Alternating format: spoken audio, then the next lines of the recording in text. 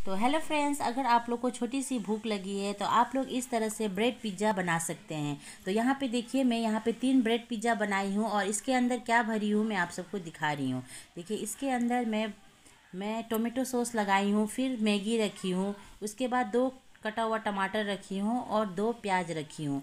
तो आप लोग भी ये वाली पिज़्ज़ा ट्राई कर सकते हैं।